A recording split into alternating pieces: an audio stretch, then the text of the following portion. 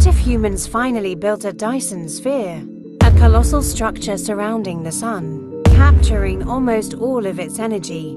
That's over 380 yottawatts of power, a million trillion times more than Earth uses today. With that energy, we could power every city, end climate change, and even travel beyond our solar system. Humanity would move into space, living in orbit, powered by sunlight itself.